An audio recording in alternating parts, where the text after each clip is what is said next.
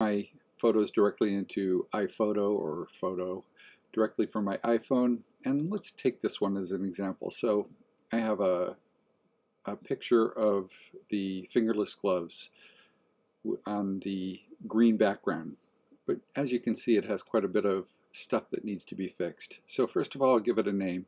And since I've done Choose Your Cable Adventure fingerless gloves before, I'll just pop that in there and put in today's date of March 12th, 1, and then I'll open it up to edit it. The first thing I do is since my iPhone takes these live photos, which I think is really quite odd, I get rid of, turn off live photo. At one point I think I'll turn that off on my phone if I have the ability to do that. I just haven't gotten around to it.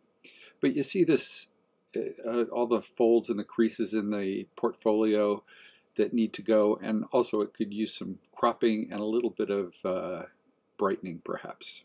So I edit it for cropping.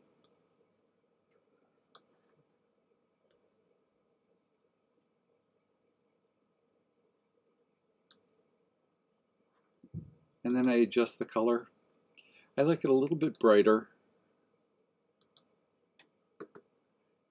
And then we're done from an iPhoto perspective. All those creases and uh, and Mars to the, the background, I do in a different um, software. So I'll go ahead and export.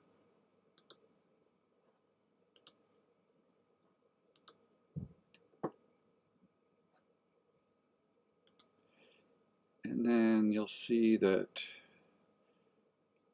Choose Your Fingerless Adventures Gloves is here, so I'll open it with Affinity Photo. It's one of my favorite. It's as close to Adobe Photoshop as I could find for a much less expensive price. And then they have this great, I forget what it's called, uh, in-painting brush tool that allows me to just, with this little circle, go over inconsistencies and it just erases them.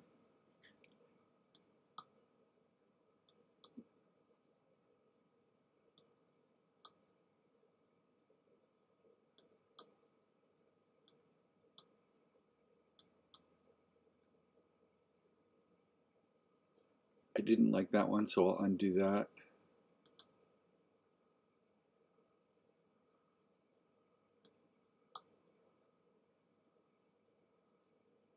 It's usually a little faster than this. My system must be a little slow today.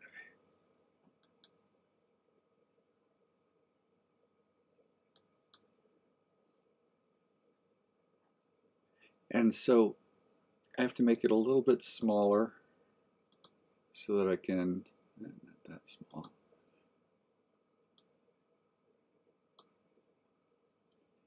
And one of the things I don't like is where the shadows come in, um, it still shows that line a little bit, so I'm going to make that bigger one more time. And just kind of try to meld these colors in together a little bit and see what we get.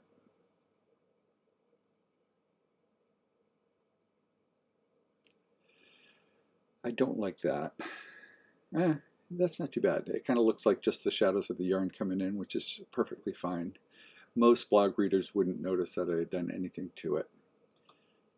So then I'm going to export that as a JPEG with Choose Your Cable Adventure out to my blog photos. that's all there is to it. And that is the eventual photo that you see um, posted out on my blog a, co a couple days ago.